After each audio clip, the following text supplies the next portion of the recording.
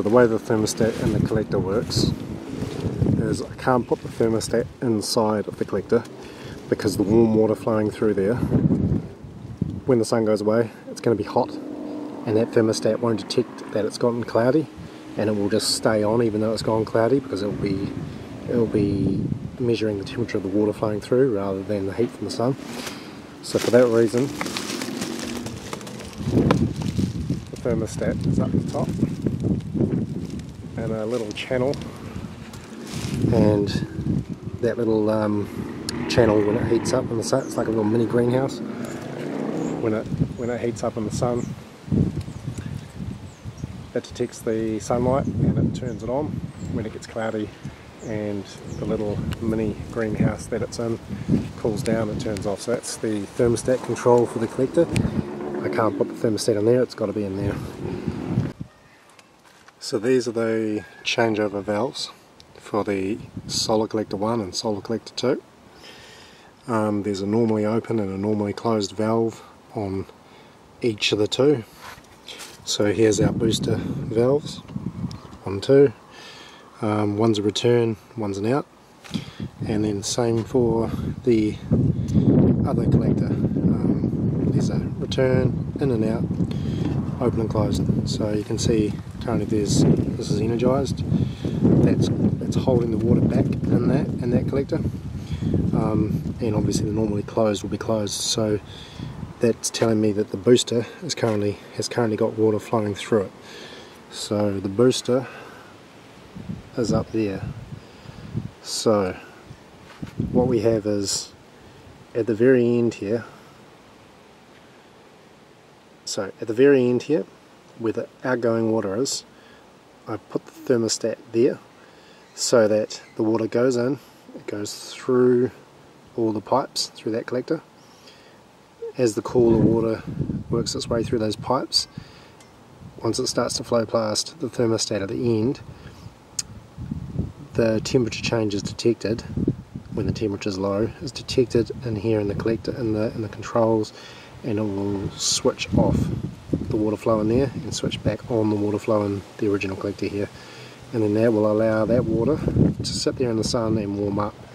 Um, once that collector and the water gets over a certain temperature um, and that thermostat is becomes almost pointless the timer takes over and it just alternates between this collector and the booster. So underneath it here is it is insulated using some insulation I found in a builder's skip um, and uh, around a bit of ducting um, and there's coils of pipe underneath that too. Um, so they're absorbing the heat from the tin underneath.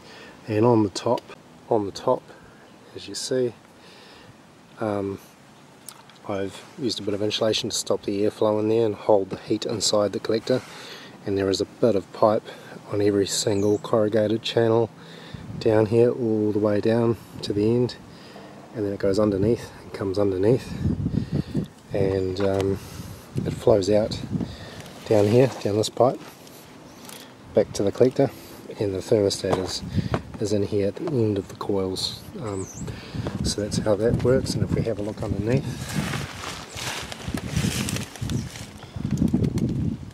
Um, it's insulated underneath as I say so that's the um, new booster. I'm going to be adding a another booster in front of this before winter. So I'm currently getting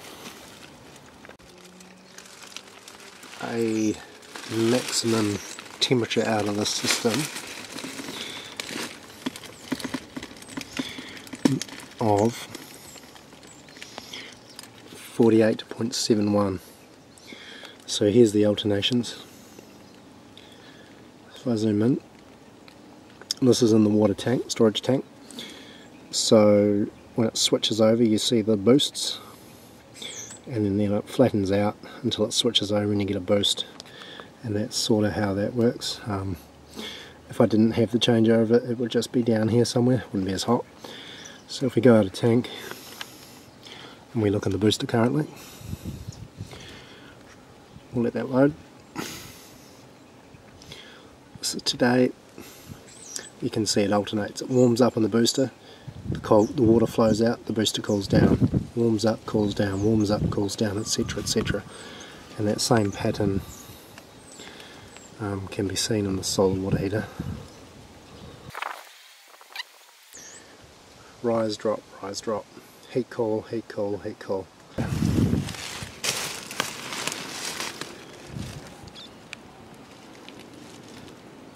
Out there, there's about 50 metre run of pipe and that goes all the way back to the storage tank. So this is the storage tank. It's wrapped up in a ton of insulation and a thermal blanket um, and it loses about 0.26 degrees Celsius per hour when it's switched off so it holds the temperature in there quite well. It's currently about 45 degrees according to my wireless temperature probes. Have a look in there. You can see the water flowing in. In there. And there is somewhere in there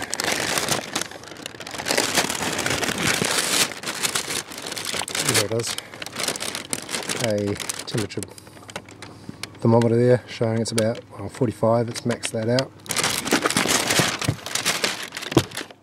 Um, there is a flow switch down here too, so that if it um, if the water's not flowing, if there's a blockage, um, the motor will shut off. So it's got power loss protection and a flow switch there for protection too. So here's the greenhouse as it is at the moment. It's a bit overgrown. Um, we've got some watermelons coming through. I did have a big watermelon. Um, and I'll be completely altering this greenhouse by winter. And that bed there will be the only bed that will be heated this year. And it will also have a cover on it. And I'll be adding some little extra controls for that so it can switch off on hot days etc and and um, redirect the water straight to this storage tank.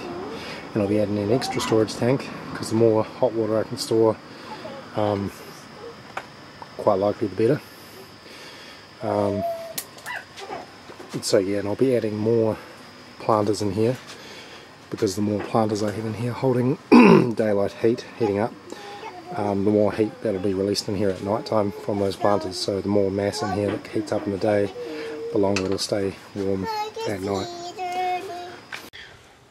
So here's a new upgraded uh, system.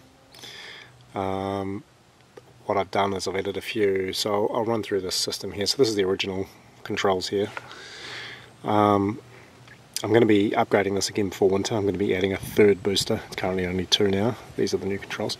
Um, and I'm going to be adding a third. Um, but some of the upgrades I've done in here, I'm also going to be adding a Wi-Fi control to it, so I can control it over the internet on my phone. I can switch it off and stuff. So, so what we've got here is we've got a, just got a contactor here. So when it loses power in here, if for some reason it loses power, this contactor will open up a circuit and back in the shed. Um, the pump will turn off. So that's just protection in case we lose power in here because all the valves will close and you know I don't want it running. So what we have here is we got our limit switches for the rotation. And the reason I rotate this collector put the rotation into this collector originally is because I wanted it to sort of face directly at the sun um, because the sun moves around quite a bit and when it face when the sun is in the other direction this is not gonna it's not gonna the collector's not gonna create much absorb much heat is it? So that's the point of that. I'm going to be upgrading that before winter with a couple of little solar panels and I'm going to make it trace uh, sorry track the sun as it and rotate with the sun so currently this timer here is what controls the rotation of this. So I've set it to 7 hours after sunrise, 7 hours after sunrise. Um, my solar collector here will rotate around the other way. So I'll demonstrate the rotation now. So we'll just imagine it's just become night time this is set to auto currently, so it's automatically controlled by a twilight switch, but I can manually turn it on. So when it's dark, what's going to happen is it's going to cut power to these two timers, and the collector is going to rotate around, as you can see.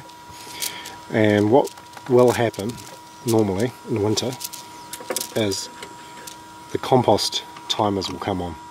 So I've currently got those, so at night time and, and also on a cloudy day when there's no use in having the solar on, this will switch over to the compost and cycle through six coils of pipe inside of my compost bins. And as it cycles through those six coils of pipe it's pulling all the heat out of it um, and circulating that in the system. And that's what's keeping the water warm um, and the greenhouse beds warm at night time and on cloudy days will be the compost heating. So what I've done is I've added an extra switch up here so that currently I'm running the system only with solar because um, I don't I haven't got the compost pile set up. It's summer no point. Um, so what I can do is I'll switch it over here to solar compost and I'll switch the valves on. So this is what will happen in winter. I've currently set it for 10 seconds cycling. So you will hear these change over every 10 seconds. Yep, change over.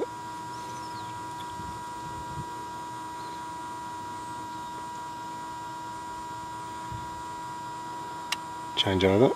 So I've set them for 10 seconds, so what that's doing is these are just going to change cycle through six valves every 10 seconds. Um, and each valve is a different coil of pipe in the compost, so I'll probably set that for about 20 minutes or so 10 minutes even in, in winter. And that means each coil will get um, so if I set it to 10 minutes that gives each coil 60 minutes 50 minutes time to sit to stay 60 minutes for the water to sit in the pipes in the compost pile and warm up while all the other valves cycle through. And over that 60 50 minutes the water will warm up and then when, when its turn comes with the timer it will pump that back into the um, into the storage container and through the greenhouse beds heating them up. So it was last year run with only four coils and I was able to get about it was able to maintain water at about 32 degrees. So I've got six coils this year. So I, I should get a bit more than that. Um, we'll have to test that out in winter and see what I, kind of heat I can maintain the water at and the greenhouse beds at. So that's how that works. So currently we're about to hit this limit switch here and when we hit this limit switch it will, the, this, the solar collector will be sitting in its position waiting for the sunrise in the morning. So I'll just set this timer down here to on so that it works all the time so you can see. So I'll rotate that around to on. And in morning time as you hear there the and because it's sunny it's um, the timer for the um, sorry the um, the uh, solar collector is currently active so the compost piles have turned off and it's using the sunlight heating up in the collector and this will this is what it'll do it'll rotate back around and follow the sun after a time that I set here so that's basically how that works Um, so I'll just switch solar only again and I'll turn off those compost valves because we're not going to be using them. So that's the basic system here. So the way the booster is working is when the collector gets to this temperature I set on here, which is 30 degrees currently, I should set that a bit hotter actually, um, system will switch over automatically to the solar collectors.